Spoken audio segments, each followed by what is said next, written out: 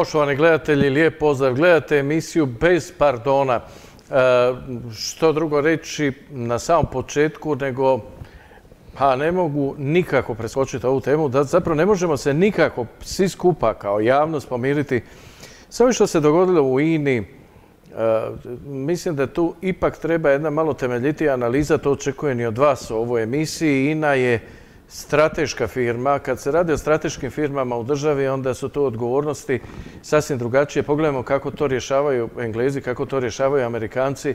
Dakle, e, propusti u takvim firmama se rješavaju po kratkom postupku i to vrlo radikalno, bez obzira recimo što se radi o visokim demokracijama, oduzimanje svih građanskih prava i tako dalje su trenutne za sve sudionike dok ne dokažu da su nevini i tako dalje i tako dalje. Dakle, bilo je tih primjera i u Engleskoj i u Nizozemskoj kad je u pitanju Royal Dutch Shell i tako dalje. Dakle, tu se mogu složiti s premijerom Plenkovićem korupcije ima u svim zemljama, dakle ima i u tako visokim demokracijama, ali te visoke demokracije tada upotrebljavaju i tekako žestoku batinu. E, trebamo li i mi imati takvu batinu koja bi odvraćala ljude od ovakve lupeštine koju mi svi plaćamo? Pa nadalje, evo vaše analize očekujem i danas o toj temi. Halo, dobar dan. Halo, dobar dan. Izvolite. Evo ovako, slušam gospodina Plenkovića. Veli šest godina da mu je dosta ovoga, neću biti prosta, ni, ni on, ali znamo na što je mislio. Gospodine Roberte, ko bira nadzorni odbor. Ko bira upravu? Bira je gospodin Plenković, te iste ljude. Gospodin Dalić je od 11. godine suprug od gospođe Dalić. Čitam danas njih dvoje primaju mjesečno 200 tisuća kuna. Ej, 200 tisuća kuna mjesečno. Pa kud oni te novce slažu? To, to, to ja mislim da svu javno zanima. Ima nas pravo zanimati. Pa radi ima se nas pravo i da kao, neko dokaže di, ti novci odlaze. Ako se radi o državnim firmama, ima nas pravo zanimati. sad ljuti na nekoga, a sam čovječe biraš ministre, sam si izabrao te ljude, sam si i poznaš i znači kum toga, ne znam, ne Šukera Boža Šurjaka, je tajnik u HDZ-u, veli pa oni su kumovi. Pa je taj kum zapitao to kuma, e kume, otkud toliko tebi imovina i novac i, i to da nije ta banka, strana banka, da su naše banke, to se novac ne bi nikad otkrio. Strana banka znači otkrila taj novac na tome računu od skoro mi pola milijarde kuna. Mislim da to apsolutno... Jeste li vi gospođo umirovljenica? Jesam. Kako bi se vi osjećali kao umirovljenica da se ujutro probudite i da na svom bankovnom računu imate 560 milijuna kuna? Išla bi u banku i odmah prijavila da to nije moj novac. Je li to pošteno? Mislim da je ova poruka bila vrlo jasna. Pošteno. I još nešto, evo. Ja sad ću preći na ovo, na firme. Moj Roberte, ja sam stara, došla sam davno, davno u Zagreb, prije 62 godine. Ja ne mogu nabrojiti na prste, hoćete od parnih kotlova, hoćete od e, končara, hoćete od prvomajske, čitavom svijetu izvoze ove, ove alatke, kako se već Ne znam, tvornica jedinstva, ne znam, sve velike tvornice, i to vi znate. A naše građevinske firme su izgradile pola Moskve, pola Moskve izgradile su. Znam, iz moje obitelji su išli monteri, centralnog grijanja monteri, vodoinstalateri, električari, to su sve išli preko naših firmi. A to je sramota i ovo sada INA. INA je bila prva u svijetu, ja sjećam se, ja sam dosta mhm. u svojoj mladosti to pratila. Prva u svijetu je naša INA bila. Eto ga. Ako se sjećate. Da, stoje i podaci i činjenice. Hvala vam lijepo na pozivu, ali e, čisto da podsjetimo i naše gledatelje koji možda ne znaju. INA, dakle Hrvatska kompanija, industrija nafte, dakle skraćeno INA, bila je najprosperitetnija i najstožernija tvrtka u bivšoj Jugoslaviji. Dakle, radi se o enormno važnoj tvrtci koja je bila enormno važna u bivšoj Jugoslaviji, a kamoli ne bi bila sada u Hrvatskoj. Takve tvrtke koje se, bave tim poslom kao što se bavi INA, iako ona danas nije ni sjena onoga što je bila, što se poslovnog dijela tiče, To su tvrtke od strateškog interesa za svaku naciju, za svaku državu. Dakle, napad na takvu tvrtku može se slobodno reći da je ravan terorističkom napadu ili ratu. Halo, dobar dan. Evo moja škola iz Vruške ovoga, iz Vukovice, HDZ-ovca. Lijep pozdrav vam, želim od srca. Juče sam dobio informaciju da ste vi danas, e, to sam čekao. To je ta ključna ali informacija. Ali nešto reći, da me ne bi poslali na godišnje.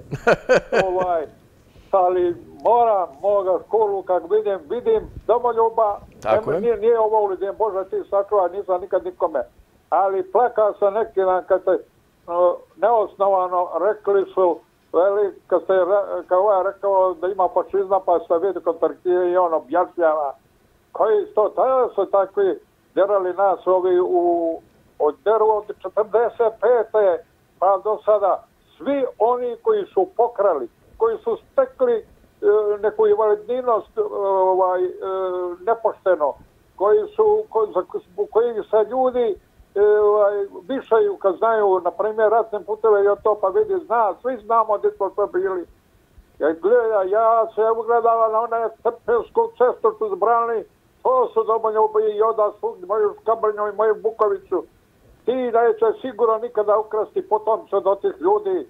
Tako volim Hrvate. I vi, vam se zabrani da rečete da volite svoju naciju i poštajate drugu. Nema to, ja volim svoje poštene Hrvata. Ali ovo što vi deru sada, ma moj gospodin Kula, to je od 45. pa do dalje, derali su non stop ovu našu državu. Ko je inu tamo, ko je tamo od Istre pa i Rijeke to tamo HDZ nikad nije vlada. Pa trebaju odgovoriti. Premijer Plenković mora odgovoriti. Ja ću uvijek za, za moj HDZ glasovati, ali ima lopina. Meni se ne sviđa onaj šef porezne Mikulić. Ono, ali sudstvo je, sudstvo, odvjetništvo, sve to treba u kazamate poslati. Ma nemoj, brate, ako se ukra, a, a sad ću ja nešto reći, bit ću kontradiktoran, kad ste rekli da se nađemo 500 milijuna na mom računu, da bi onda. Investicija srednje u Bruško, moj vodotoranj napravi i da ima moja bukovica vode. Da ima bukovica vode da nije žed. Da, da, neka, ko se zezija, neka ja nisam ga nagonjen da natrija na moj od. Da, Tako moj... ali uh, bukovica bi dobila vodu, dobro. Tako je, neka pije, vi ste je počeli. Tako moj škura, budite takav dovoljno, to ja hoću. A ne oni sa Korza i ovi dalje bla plus dva. Živjeli, gospodine, drago mi je što si, ko zna kad ćete više vidjeti. A tu sam ja, ne, idem ja u daleko. drugim emisijama. Je, Ali je. napala se, ne daj svoju demoljubnost, Bog živjeli. Svako dobro, hvala vam lijepo na podršci. Što se tiče Hrvatske, Hr- za Hrvatsku sve, a Hrvatsku ni za što i to nam svima mora biti na prvom mjestu, jer to je tekovina demokracije za koju smo se borili ne samo mi, nego i Francuska revolucija. Tako razmišljaju Francuzi, tako razmišljaju Englezi, Amerikanci. Dakle, svi svoju državu stavljaju na, svoje prvo, na prvo mjesto, pa ko može zabraniti nama da mi našu stavimo na prvo mjesto i nek nam bude na prvom mjestu. To je demokracija. Halo, dobar dan. Dobar dan, Roberte. Izvolite. On je ispod rsta njega. Ja te pozdravljam. Pozdrav. Svoje kolege pozdravljam i želio bi što prija da čujem Mateja i svog Hrvoju. Eto ga, bit će vam ovih dana. Da. bi bio volio. Ja bih pozdravio svoga prijatelja, sad je priča iz Bruške, i moga Antu Perkovića i svog Ivana.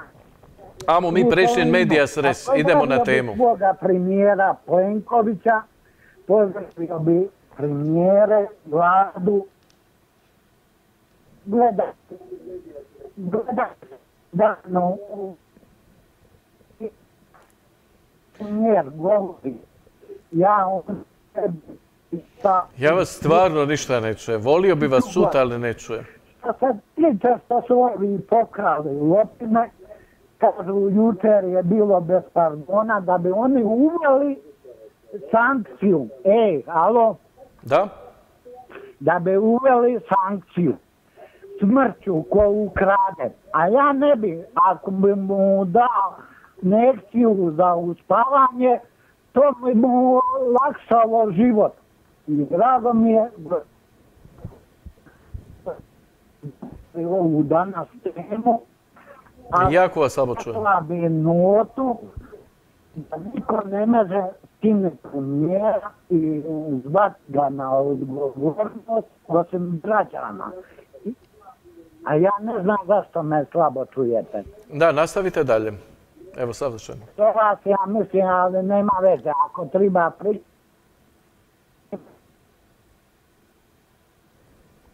Evo, nažalost, izgubili smo kontakt sa našim... Halo? Ne morate, stvarno, stvarno moramo, morate malo pogledati taj aparat jer b, očito Ja sam ili se maknete. ne razumio. Ne, stvarno, stvarno moramo nastaviti. Idemo dalje. Da, Žao mi je, lijep pozdrav vama, ali očito ili malo puno mičate taj aparat, dogovorite nešto je, u svakom slučaju mo- nismo vas uspjeli čuti. Samo sam primijetio da je rečeno da, se u nekom kontekstu pozivalo na smrtne kazne i tako dalje. Nemojmo to pozivati, ovo nije prostor za pozivanje na nikakve obračune e, sa životima, smrtima i tako dalje. Hrvatska je zemlja koja je davno ukinula i izašla iz tog sistema e, smrtnih kazni, pripada onom dijelu demokratskog svijeta koji to ne primjenjuju, pa samim ti nemojmo to ne prizivati. Ovdje poštujemo zakone vlastite države. Halo, dobar dan. Dobar dan. Izvolite. Pozdrav I vama. I svim dobrim ljudima. Pozdrava, posebno gospodinu Ivanu. A što se tiče toga e, za lopovluk, znate šta bi ja napravio? Bi mu e, sve što su mu i prandedi stekli, a onda kasnije nek se on bori sa nekakvim pravima. A što se tiče odvjetničkih timova, da kako e, svi imaju odmah odvjetnika. E, odvjetnik ako izgubi na sudu, a izgubit će, mora izgubiti, dokazni materijal ima da, da je krađa izvršena, odvjetnik mi treba dijeliti s njime kaznu. Zašto e, tim ljudima se po službenoj dužnosti treba odvjetnik dodijeliti, jer ima dokazni materijal, ako se nekome nađe na računu 400, e, priko 500, 500 milijuna kuna, Zamislite, kad idete razmijeniti 100 eura, date, morate dati u banke osobnu iskaznicu, preslik osobne iskaznice, preslikati dva puta osobnu iskaznicu, vratiti nazad. Kako se može dogoditi jednoj banki da se toliki novac proslijedi nekome na račun, da banka ne izvijesti? Ja mislim da je vjerovatno da da, da banke su i napravile to, e, da su olakšale premijeru i svima da se to konačno stavi na čistac, ko je lopov, lopov je, on nema predznak, on nema naciju, on nema ništa. On je, ima samo bolesni um, megalomanski um. A što se tiče toga oporbe, gospode oporbe, neka sačekaju izbore. E, pita bi ja da su oni vladali 26 godina, HDZ je ne vlasti 26 godina, nije to mala stvar. Svi imamo mi naše lopove, svi, svaka stranka ima ima čestiti ljudi, a ne dopuštenih, neki danas se sluša, dopuštenih HDZ-ovca da će se on boriti. Ako treba, kaže i oružje. Čekaj malo, o tom potom. 230 tisuća članova je HDZ-a, nije to baš mala brojka, a SDP e, ne može nikada srušiti HDZ. Znate zašto ne može? Ne može, jer ja sam na izbornim kutijama bio 15 godina, možda i više, ispred svoje stranke. Uvijek je iza o 11, 12 glasova, barem u mome mjestu gdje je 700 stanovnika. E, pa su se ujedinili, navodno su ujedinili nekakvi desnjaci. Desnice te nema. To je laž. Ja slušam kako se moga naći vođa oporbe predsjednik države.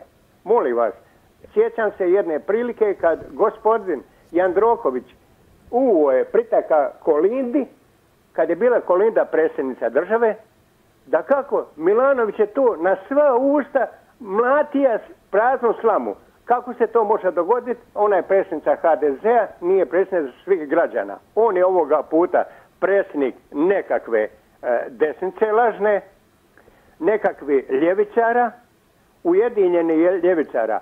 A što se tiče HDZ-a, HDZ će ostati dalje na vlasti, a one gospoda neka sačekaju regularne izbore. Isteklo vrijeme.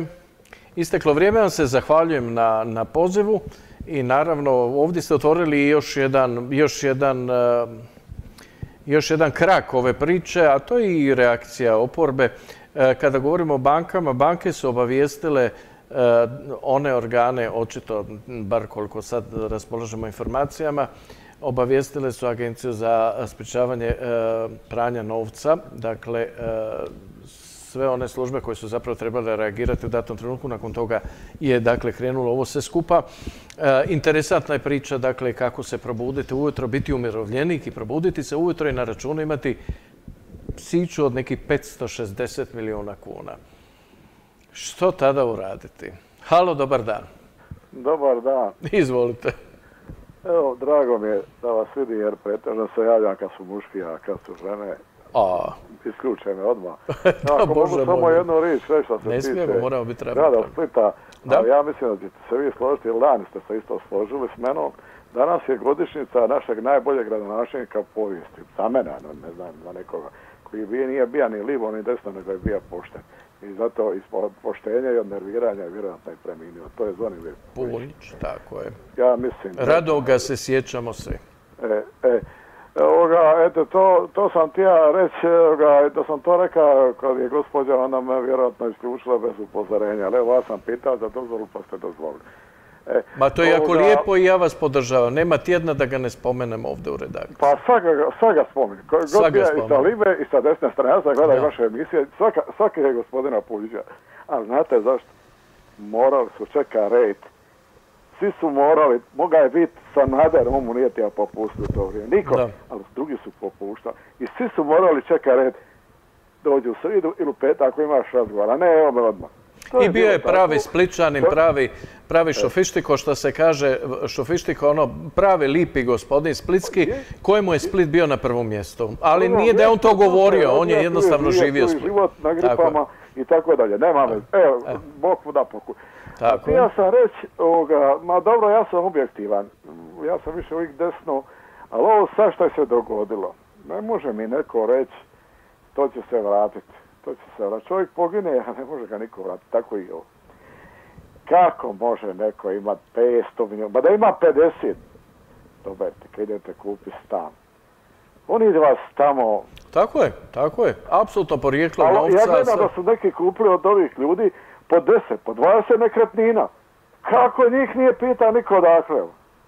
E to ja pitam Plenkovića. To ga pitam. Onda danas govore, govore svi, mislim, između sebe. Oni kum onome, oni kum onome, oni prijate, oni studira s njim. I to je sve, Roberte, umreženo. Za mene je to umreženo. Ja sam objektivan. Vi ste objektivan. Žao mi je što ljudi nisu objektivni. Jer kad kad, treba, kad je trebalo spominjati e, jednog ovoga našeg gospodina Vicu, onda su svi govorili protiv njega. A kad treba od Grbina ženu spomenuti, niko ne govori. Trebate vi objektivni. Ako, ako je Vica završio pomorski fakultet u, Splitu, ne može se završiti fakultet, pomorski fakultet baš tako ako, a, preko veze. Ali dobro, nema veze. Znači, sve ovo što se dešava, ovo nema poštenja niti malo. Ovo što, će se, što se vrate novci, pa šta da se vrate novci? Pa kako može neko, kako je ta gospođa, danas čitam, kako da ona otvorila neka, ta gospođa Mateo toga, kako se zove, ona otvorila firmu, godinu dana je držala dvije i zatvorila je, zaradila 12 milijuna kuna i zatvorila je. Evo ga, morat ćemo e, završiti ovdje razgovor. Hvala vam lijepo puno na e, pozivu i na stvarno sjećanju na našeg velikog i krasnog i divnog zonu Puljića uvijek mi je zadovoljstvo kad se sjetim tog čovjeka. A vjerojatno svima nama koji smo ga sretali, nama novinarima i svim ljudima u gradu i živjeli u vrijeme, kad, je, kad je zaista, eto, grad Piza. Uh, idemo dalje. Halo, dobar dan. Dobar dan. Izvolite. E, eh. Kad, bi bilo, kad bi bilo još takvih eh. više. Eh, oh, oh, oh, jeh, juh. Eh, eh poština nije stala, niti je stala, niti prestala, niti sasvim baš nestala, da baš negdje neko ima da zaradi s propisima. Da dobije plaću svoju, da potakne sumnju koju, što je tuđe da ne bira ispravniji put da bira, da zaradi plaću steče, o zakon se ne opeče. Zašto je to nekom slađe za bit lopov za bit bogat lopovrađe? Zar je putem lakše ići nepoštenju svuda stići ili je slađe pošten biti i nepravdi prkositi? Da upiru prstom ute i negativne sve adute. Nije lako ne imati, niti je lako zaimati. Nisi uvijek tome kriv, poštenje se rijetko nađe, budi jedan ti od njih. Nikad neće biti sve čisto, ni će sutra red zavladat, ali treba znati svatko da će mali prvi radat. Ljudi moji kuće ovo da smo došli na te grane, da poštenje nije bitno i da tako nisko padne. Ili jedni ili drugi iz stranaka svih u HDZ-u po najviše svi smo čuli mi za njih. Zašto zakone poštuju kao što ga mali štuju? Svakim danom dokazuju pa zbog čega takvi žive ima li šta njima sveto? Baš taj zakon ako nije kojega su izglasali, predlagali puno prije. Nikako da zasija sunce, da prestanu puste pljačke, pa se jedni od drugih brane da su sve to tuđe spačke. Najzdraviji da ovoli koji se mi voli i sve slušat nije lako. Mali plaće, bogati se smije, pa se u krug sadlom vrti, vrtit će se sve do smrti. Jedan čuva, drugi krade, sve to nama naši rade. Evo toliko o poštenju, o mnogima što e, napraviše, sve što ne valja i nas dovedoše.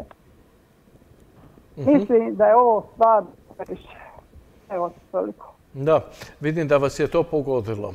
Pogodilo me i tekako, i tekako. Noću ne spavam. noću ne spavam, ne mogu vjerovati dokle će više i kad će više stati, kad ćemo više čuti lijepe vijesti. Evo, toliko. E, hvala vam lijepo.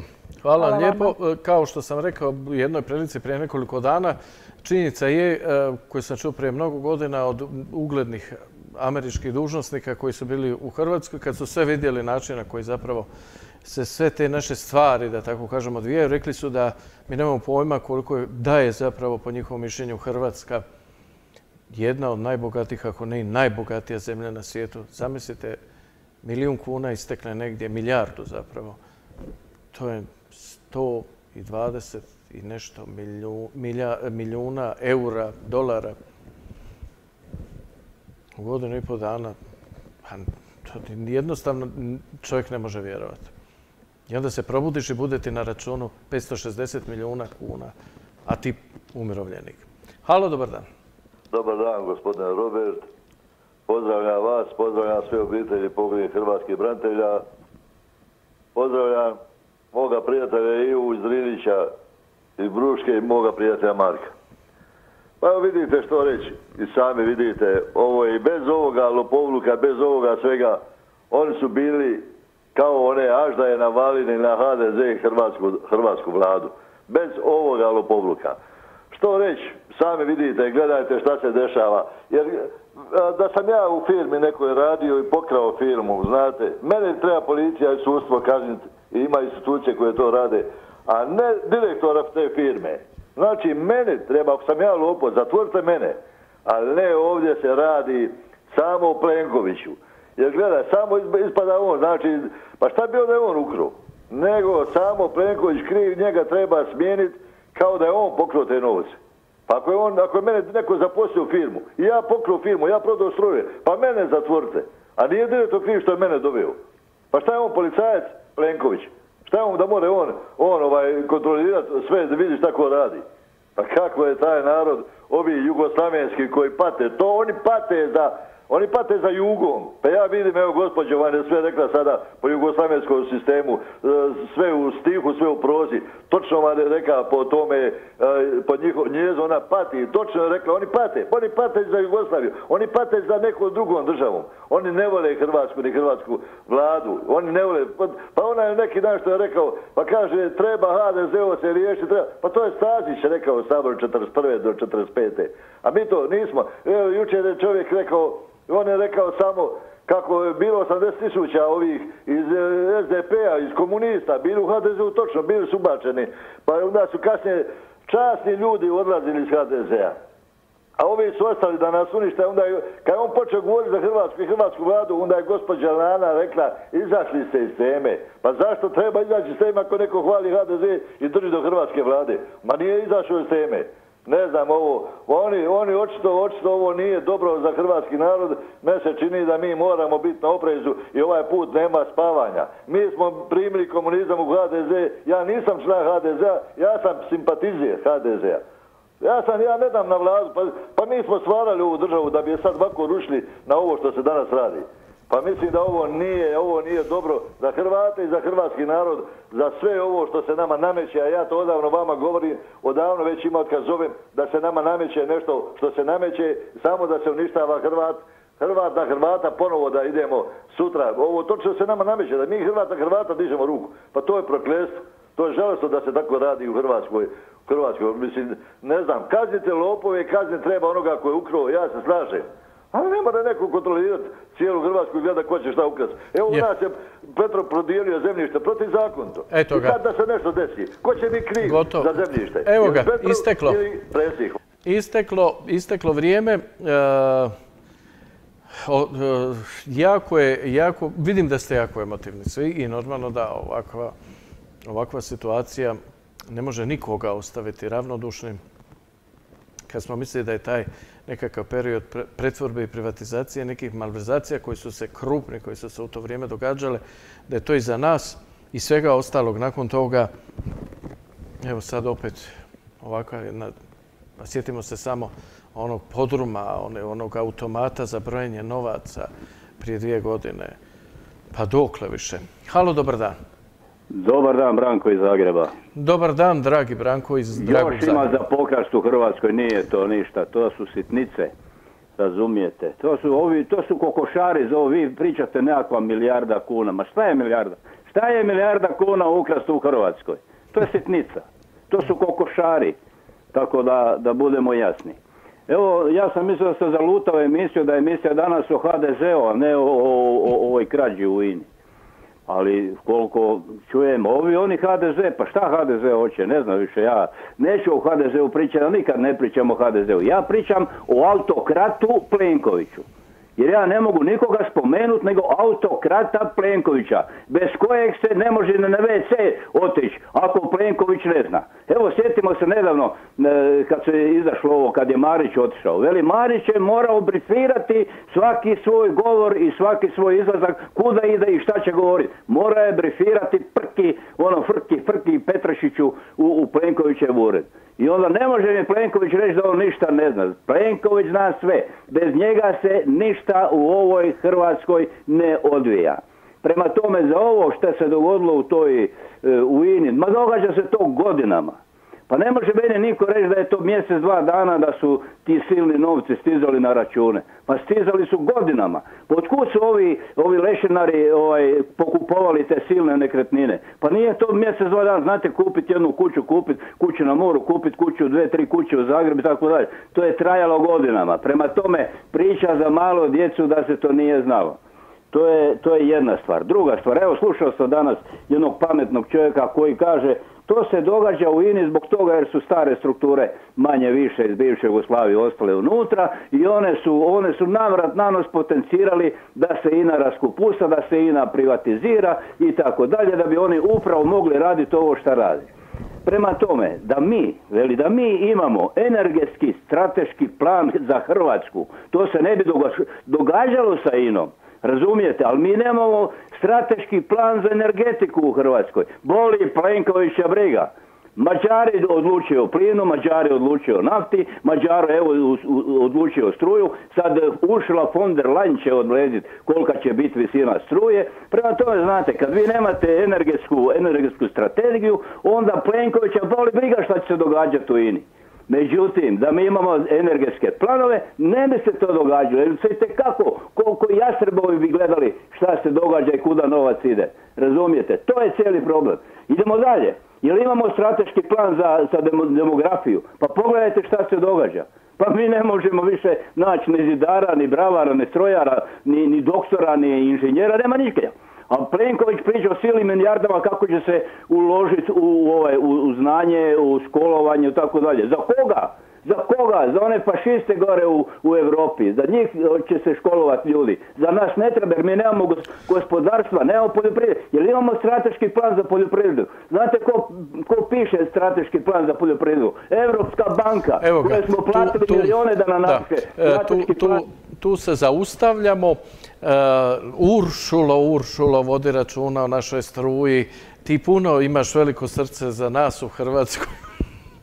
E, naravno da, sam malo sarkastičan. E, slažem se s vama, gospodine Branko, i kako nam trebaju strategije, i kako nam trebaju stručnjaci, i kako moramo voditi računa o demografiji. Kada ste spomenuli demografiju, ovdje u Splitu nam je crno pred očima palo, dakle najveći pad upisa u osnovne škole, odnosno prvi razred osnovne škole za našu županiju upravo u gradu Splitu. Dakle, demografski ponor u koje Split upada, gubimo djecu, škole koje su do jučer bile pune sada praktično od- se zatvaraju cijela odjeljenja. Dakle, ne govorimo o Zagori, govorimo o Splitu. Pa šta to rodimo sami sebi? Je li iko može stati i promisliti se na što sličimo kada nemamo djece? I- Odnosno kada zapravo potičemo to da mlade obitelji, mladi što u većem broju odlaze ili iz velikih gradova ili praktično iz naše zemlje. Halo, dobar dan. Dobar dan, dobri čovječe, drago mi te pozdraviti. Hvala lijepo i vama. I pozdravio bi naše drage branitelje i braniteljice, one su naši spas, spasitelji. I pozdravio moje prijatelje iz Metkovića i Tonča moga. Evo šta vi pričate o Dini, jel tako? Ja sam čovjek najstariji među me se čini ovim svim koji govornicima koji se moga zaposliti u ono vrijeme 60. 70. Koji se moga zaposliti u INU? Samo komunisti. Ja sam došla priko neke priporuke da ću se zaposliti. Kaže on meni nisi ti za ovo, za ovo, ajde ti ja. I šta ću sad, ja sam mora ići, ja, gotovo. A mislio sam se zaposlit ću se. Čak sam mislio da će mi čača proda vola onda i da dadam da to zaposli. Jer onda tu je bila najbolja para. Sad mi govorimo o lupeštini. Ko je Inu prvi proda? Ko je bile noći proda? Koje e, brodove, sjećamo se, ja mislim da se ti sjećate isto dobro, oni neki špiljkovi sinovi koji šta ja znam, da su toliko na, na brodove, na brodove a, te nafte prodali, još je onda bilo te nafte, ali po to. To je bilo, ko je bio u INE, taj je bio, e, kako da si bio u Ameriki. Jel tako, moramo priznati. E, to u Americi ne bi baš tako jednostavno ne, ne, ja sam rekao, kao da je bio ovako para kapala. Pa nije bitno od one na blagajne pa sve do onoga velikoga direktora i teke stvari. Svi su se oni gurali da iđu u, u INU. I to je sve tako i vatalo velike prijatelje i sve te stvari. Ali mora si biti član saveza komunista. Ako nisi to bio, nisi mogao sist. Nisi mogao sist, eto. I sad se pojavljuje evo, krađa, krađa je bila i bit će i, i opet će to ovi kako su sad radili, tako će raditi i drugi. Ali slušaj, ne zna, ne mogu medmo malo me buni, da na meni sije još, mene pet feriga nije silo po, nego 2400, ja ne znam kako bi ja to mogao. Prvo ne bluze, nisam taki galoman, nego ovo što mi je da Vidović, što me i on satra, ja sam eto, moram, moram se krpiti kako se krpije, krpije. He, moj dragi čovjek, ali ovaj, sada mi ovo gledamo, ima dva dana, kad što ovaj gospodin, on gleda crno Plenkovića i te stvari. Ko da Plenković mora svakome ima botu na leđima i da on prati to. Pa čovječe, dragi, niko nije, niko nije, niko nije to još okazao da je taj čovjek primije pet lipa mita. Eto ga, Nije. e, ja vam se zahvaljujem na gostovanju i e, iznesenim stavovima, kako bi rekao kolega Matej. E, Slažem se s vama, evo svi smo emotivni, iako meni je stvarno interesantno, ja bih stvarno volio vidjeti facu umirovljenika koji se ujutro probudi i na računu mu bude, dakle prosječnog hrvatskog umirovljenika. Kad govorim prosječno, to su ovih 70% što imaju u mirovinu od 2,5 do 3 tisuće kuna ili od 2 do 3. pa da ujutro se probude i vide da im je na računu 560 milijuna kuna. Siroti umirovljenici, oni bi to odmah vratili sve. Možda bi zadržali 10 kuna da ditetu u svome unuku kupe nešto, ali najvjerojatnije ne i sebi vratili. Pa gdje smo mi to, u tom transferu generacija od naših djedova i baka prema nama izgubili to poštenje? I to je ključno pitanje. Halo, dobar dan. Dobar dan, poštovanje. Izvolite. Pa ne znam da li je to istina ili je to laž da navodno neki novac fali u INI. Premijer Plenković je rekao da mora sud reći institucije Republike pravne. Pa ako sud ustanovi da je, a onda je. A ovako mi možemo optuživati. A ti si ukrao, a ja sam, a onaj... A baba Joka ukrala, a Dida Mato ukrao. A ne možemo tako. E sad, ako bi bio sud, onda trebalo biti javno suđenje, pa da bude na televiziji, pa da čujemo šta kaže i ona i ona i svako, i optužena strana i sve. Tako, ja mislim da je to laž, da to nema veze s tim. E, sad znamo da doktor Ivo Sanader, da je on, što je rekao jedan političar iz SDP-a, mala beba, da on nema veze s tim, da se on s njim se igrao tamo. Tako da nije on ništa, ali eto, ispade da je. Plenković je rekao ako se nekome dokaže da će biti izbačen iz, iz, ispisan iz HDZ-a. Pa eto, dobro, takve su sankcije neće više moći biti član HDZ-a, pa dobro. E, inače bismo to navodno prodali Mađarima. E pa šta mi imamo sad s tim? Pa nek Mađar metnu svoje ljude od povjerenja, eto ako ne vjerujete Hrvatima, pa ima dovedite iz Mađarske pa zaposlite svoje kojima vi vjerujete. Jer ovako, znate, on sad sve što bude manjak, hipoteka je Hrvatska. E sutra čitava Jadranska obala Hrvatska, to je Mađarska. Jer za dug, napravi, on će reći Hrvatsku napravili dug, e sada Hrvatska ide u Slavoniju su uzeli već, to je sve njihovo. Radi Todorić je milijardu eura digo kredita, a hipoteka je država garantira da će vratiti. E sad Baranja je njihovo, sve je njihovo. Tako da sad Republika Hrvatska pripada Mađarskoj, ali ja sam bio u Mađarskoj, Mađarska je ozbiljna država, uređena i, sigurno da bi tu profitirali, on bi od nas napravili i poljoprivredu jaku i ekonomiju, industriju, Mađarska je u Schengenu, recimo što Hrvatska ne može još 20 do 50 godina unići u Schengen, jer nismo međugranične e, razgraničenja riješili. E, Mađari, to je njihovo. Vi radite s otim šta hoćete. Mi tu nemamo, bismo prodali. Da je valjala ta komunistička firma, mi je ne prodali. Nama ne treba ništa komunističko i hvala ti Bože da smo se riješili. Ako ima još nešto od komunističkoga i to prodat. Da me ne posjeća na komunizam. Ovaj, sva odgovornost pripada na Mađare, Hrvat nije kriv ništa, da budeš mi dao... I to je to, tu potlačimo crtu. Dakle, svi su krivi, ali mi nismo. Nismo. A ja bi volio iskreno da svi hrvatski umirovljenici jednog jutra osvanu sa milijunima i stotinama milijuna kuna na svojim bankovnim računima, ma bar za pet minuta ili sat vremena pa da ljudi osjete kako je to. Evo, malo se treba i našaliti malo crnog humora, ali e, milijardu kuna zdimiti s računa e, firme državne, baš i nije komično. Halo, dobar dan. Dobar dan, želim. Izvolite, gospođo. Pa evo, slušajući ove ljude, dođe za zaplakat. Pojedinci koji govore dođe za zaplakat toliko neosviještenost da posjeduju u sebi. Pa mislim, šta se treba Hrvatskoj dogoditi da ona progleda? Ja nemam, nemam na to u stvari odgovor. Dakle, e, nije bitno ko je na vlasti, koja je stranka na vlasti. Bitno je da se ovo Hrvatskoj dogodilo nešto od najgorega.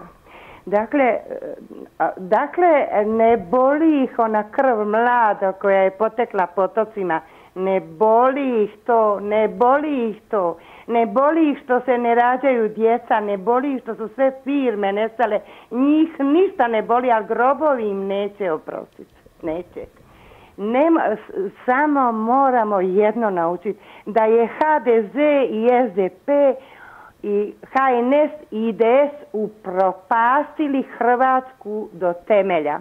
To su ljudi koji su vladali svim ovim godinama. I kad ne, nema, ja sam desnicarka. I, ali nisam šovinista. Dakle, kažu nije kriv Plenković, nije bio kriv Račan, pa nije kriv niko.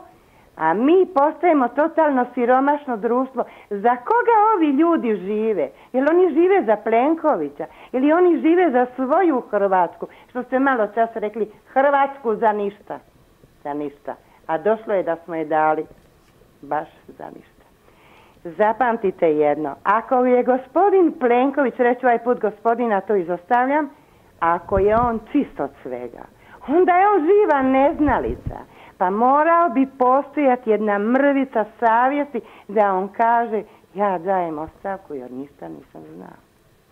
U njegovoj vladi toliki ministri su oberlopovi. I tu se mi nemamo šta zavaravati. A neko je umro da on živi. U HDZ-u je 80% udbaša. U HDZ-u je ušlo. I što kaže čovjek, Ivo, kako se zove, ok, neće da mu sudi komunista. Upravo su oni i sude nam. I sude nam oni. I ovo rade što rade. Jer im nije stalo, jer nisu ni branili. Jer im nije stalo.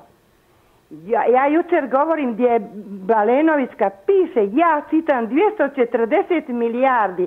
Linić je u jedan dan, ona kaže, Balenovićka, zarađivao 100 tisuća eura. Ona nije htjela to potpisati, izašla je van. I ovaj mene što je naklonjen SDP uvjerava da je tako piše, ako je greška u tome, ja ne znam. Ja sam par put pogledala, je li milijarda ili milijarde ili su milioni. I on mene uvjerava. I imate i sad onu razliku HDZ SDP. Pa ljudi dajte dođite sebi. Mi smo pokradeni. Prodale se banke, prodala se zlato, e, tvornice su nestale. Rekla sam jučer. Dalička upropastila sada tamo Podravku. Hvala. E, upropastila. E, Hvala vam na ovom javljanju i e, uvijek emotivnoj reakciji. Slažem se s vama da zaista treba, treba stvarno vidjeti e, kako i na koji način e, se resetirati svega ovoga skupa, vratiti nas na one početne postavke u kojima imamo i kategoriju koja se zove moral. Halo, dobar dan. Dobar dan. Izvolite. Poštovanje gospodine. E, ovako vidite, primjer uzmo u dućan kad se ode, naš Plenković je neprikosnoven. U dućan kad se ode, treba čovjek platiti, ako bude po dvije kune, kukuruz mora platiti šest kila, mora da šest kila kuruza za kilo brašna. Mora dati za pola litre mlijeka, ne, za pola litre vode, obične jane, e, nije mu dovoljno dvije litre mlijeka. A gdje naš Plenković gleda osim sebe i svoji okolo onih koji ko od njegovih ministara nije šta pokra i ko nije ključno djelo napravio. A ovaj koji je zatvoren radi tih pola miliona, milijarde, koliko ne znam ja, on je pušten vanka da mora obezbijediti. Primjer uzmo da mi imamo zakon ko je ukra sve njegovo i od njegove obitelji sve mu odnit i njega doživotno u zatvor. Pa da vidite kako bi se zakon promijenio, kako bi se promijenio odnos.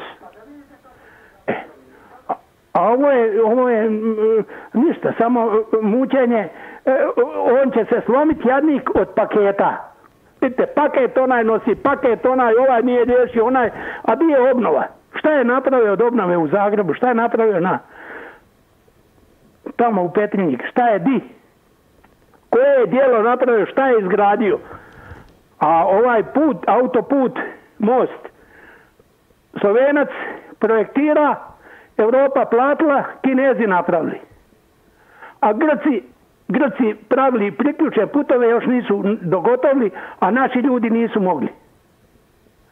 A nekada su naši ljudi bili, gleda sam nedavno na televiziji, dobili su jedan neboder visoki, čudno su ga napravili i svit mu se cijeli divi. A ovo nisu mogli raditi.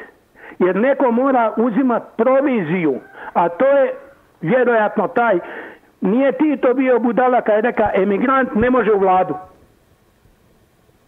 I nije bilo potom, i nije bio nijedan. A ovi Sanade došao, šta je napravio? Uništio zemlju. Došao je Mudrinić, šta je napravio? Mi dok smo kopali, radili, proizvodili, m, pripremali taj telefon, šta je on napravio? On je prodato jednostavno. On je prodato tamo. A ovaj prodaje rafineriju. Pa kako ako imamo jednako isti broj tih e, bodova u, u INI, pa zašto onda kako su Mađare uzeli? Jer im Ivo Sanader tako reka. A gdje su platforme iz Jadrana? A čije su vjetrenjače okolo koje nam struju daju? O tome niko ništa ne smije govoriti. Ovo je gore, ma kakvi komuni, komunizam je bio spas za ovo. Jer uvijek bilo je isto e, odnos plaće najvećega i najmanjega. A koliko je sada? Ovaj dobije tamo 100.000 kuna i više, a ovaj jadni radnik, on dobije tri, a dvije mu plati na crno, šuti, muči. Budi zadovoljan. Eto ga. A ovi koji ističu se i taj HDZ, to su petokolonaši. Hvala vam lijepo na pozivu. Evo, pozdravljam vas, ali čuje se neki pivac u pozadini, pa eto, nadam se da neće brzo završiti u loncu, nego da će i imati on još dosta posla. E, Evo malo da se nasmijemo. E, e, Nastavimo dalje, poštovani gledatelji. Voljeli bi svi, ja osobno, ali mislim da se slažete i vi svi, da se ovako nešto nije dogodilo. E, Na kraju krajeva tih milijardu kuna nije ni ininih, nego naših. To su sve naše novci. I neko ko raspolaže našim novcima, ako je plaćan da to radi, morao bi, e, morao bi pokazati u, ovo, u ovoj situaciji sada odgovornost za to. Preko ovoga se ne može tek tako i kroz jedan dan proći. Halo, dobar dan. Dobar dan, iz Rijeke zovem. Rijeka, pozdrav. Evo, mene malo alergije drži, ali dobro. Izvolite. Evo, evo, ovaj, mene fascinira stvarno jedna stvar. Znači, mi govorimo o INI, rekao sam već, INA je sama po sebi. Da se ovo nije ni dogodilo, pazite, da se ovo nije ni dogodilo, INA je već sama po sebi jedna afera. Afera u kojoj su u spregu bili HDZ i SDP. Oni su Prodali INU, bratski, a da nitko nije odgovarao, nitko nije objasnio zašto se ta INA prodala. A fascinira me to što se javljaju u ovoj emisiji, što ima ljudi koji razmišljaju na način da treba podržati HDZ, SDP i ove političare koji su to omogućili, odnosno napravili. Dakle, nikad mi neće biti jasno zašto neki ljudi prozivaju mene, recimo, da vidim sve crno, a istovremeno brane Plenkovića, brane njegovu ekipu, brane HDZ, ne samo HDZ, pazite, ja kad kažem HDZ, HDZ je možda najviše bio na vlasti, ali to jednako važi za sve one stranke u Hrvatskoj, zato ja kad čujem riječ opozicija, meni je to isto jednako fascinantno da ljudi vjeruju u nekakvu opoziciju. Što se tiče ovih afera, pa mi od kad imamo ovu našu državu, stalno su bile neke afere. Ja sam Mislite uvjeren lopovske afere? Da kad se vrate da, kad se vrate naši branitelji, da će se možda malo propitat, kad oni, oni su, neki su se vraćali s fronte i njihova poduzeća je bila prodana. Ja sam mislio neko će pitat ko je prodao, zašto je prodao, ko je imao koristi od te, te prodaje. Onda je došao SDP. SDP, ako se sjećate, a mislim da se svi dobro sjećamo, oni su banke rasprodali, bankarski sustav. Tu, tu nje, to je bilo valjda nekako ovaj, specijalnost. I naravno, kako su se dalje redale te ovaj, e, vlade, tako su rasprodavali Hrvatsku. I da bi bilo još interesantnije, nikad Brisel nije reagirao na te pljačke. Znači oni su nama postavljali uvjete, pa ne može biti muško, pa žensko, pa malo muško, pa malo žensko, pa ovi, pa oni, pa dva muška sa pa dvije žene, pa ovo svakakve uvjete su nam postavljali kurikul ovako, kurikul, ali nikad kad je u pitanju bila pljačka, da se ta pljačka otkrije. I sad jedna gospođa postaje pitanje do kad će biti pljački. Bit će pljački, biti će pljački, dokle god bude ljudi koji budu podržavali stranke koje su uključene u pljačku, koji budu mene prozivali zbog nekakvog komunizma, jugoslavenizma i ne znam Na, čega. na- na kraju smo. Na kraju smo Evo. vašeg javljanja. Hvala vam lijepo puno. E, e, teško, te- e, velike i teške riječi se, se, se izgovaraju. Halo, dobar dan. Dobar dan. Izvolite. Pozdrav vama, režiji i gledateljima. Ovako. Evo, znači, režija odgovara, pozdravi vama. Hvala. Eto. Pristojni su. Da, pa uvijek su bili. Fini su kao iz Finske da su došli. Uvijek su bili, uvijek Tek da bili. vidite kako izgledaju. To, to im je vrlina rada njihovog. Je, prekrasni su, prekrasni su. Izvolite. Ovako, znači, evo, mnogi mi komentiramo i ja ću nešto reći što će biti sasvim suprotno od ovih koji su dosta komentirali. Dobro. Svaki puta, kad god se dogodi neka afera, neka pljačka, svaki puta, znači nemam ja ništa protiv oporbe, oni svaki puta traže vladajuću stranku da ih maknu, nadajući se da će oni doći gore. Za mene to oni, to je za mene sprega između vladajuće i njih. Jer e, e, bilo bi pravilno da se osnuje nekakva vlada spasa i da ovoj trenutnoj sada i možda prethodnim da je bilo, da im naredi da znači svu tu aferu očiste i da potpuno očiste i da vide da li zaista ima neko spregu u vladajućim strukturama, da li je zaista. Kad se utvrdi, onda i dati im određene kazne. I tek i onda maknuti i postaviti druge i uredne ljude.